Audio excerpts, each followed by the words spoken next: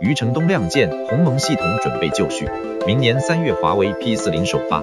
不管华为如何否认，随着华为手机出货量的提升，华为的麒麟处理器已经成为高通最大的对手。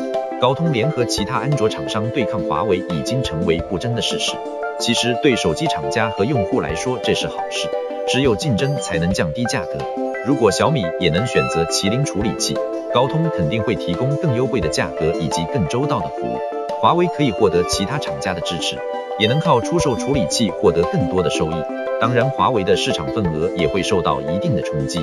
在此之前，华为在谈及鸿蒙系统时抱的还是模棱两可的态度，只说鸿蒙系统是为 5G 时代的物联网准备，不打算用在手机上，手机还是以安卓系统为主，前提是谷歌给用。